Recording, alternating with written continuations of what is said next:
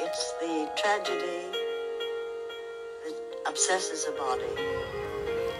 And the garment that is worn is just a tube of material. But it's as though you were stretching inside your own skin.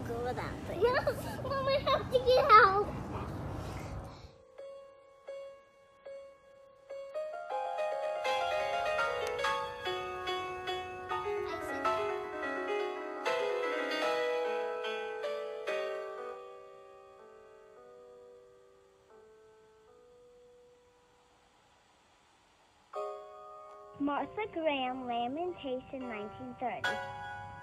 Masterpiece lives on.